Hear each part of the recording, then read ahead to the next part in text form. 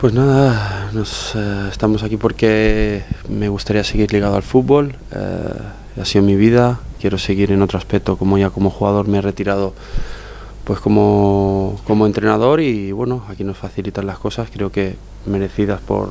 por el pasado que hemos tenido. Y nada, aprendiendo cosas cada día y, y bueno, ahora estamos en el nivel A que es un poquito más difícil que el B y esperemos pues aprobar la licencia B en el año 2005 con Luis Enrique, la época de Luis Enrique, y luego como yo estaba en activo, pues ya no me dio tiempo a engancharme. Entonces ahora, como ya prácticamente deja el fútbol, pues yo creo que eh, este segundo título me va a venir muy bien y lo que quiero, evidentemente, es como todos, entrenar algún día pues en primera división, ¿no? Que, no, que no es fácil, evidentemente, pero bueno. En cada ocasión pues tienes que ser, digo de una manera, por ejemplo en, en el nivel B pues era respecto a niños, te dicen cómo tienes que comportar, cómo,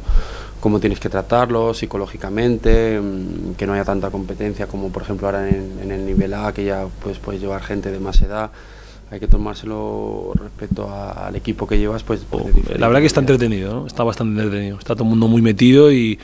y aprendiendo, porque hay muchas cosas que hemos sido futbolistas, pero hay cosas que nos están enseñando que nos están viniendo muy bien. conocemos todo, nos hemos enfrentado muchas veces con compañeros también, pues y el ambiente pues es muy bueno, recordando anécdotas, eh,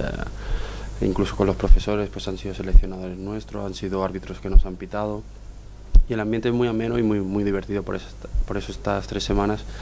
son un verdadero placer porque te reencuentras otra vez con gente que, que ya hacía Eh, entrenar. Eh, porque haya sido futbolista no quiere decir que pueda ser buen entrenador. Eso está claro y evidente. Incluso hay muchos entrenadores que no han sido futbolistas buenos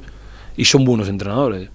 Depende de muchas cosas, depende del colectivo, depende del grupo, depende de los jugadores, depende de la dinámica que lleves. Son tantos adjetivos que, que tienes que engancharlo que no, no es fácil Ah, entrenar. en España creo que es en aspecto de fútbol es ejemplo para, para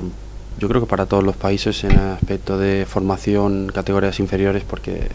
o llegan a la final o, ganan todo y ahora pues en la- todo ese trabajo de años anteriores eh, se ve la absoluta siendo campeones del mundo campeones de Europa y la verdad es que el trabajo que se está haciendo aquí es fenomenal y bueno pues se está notando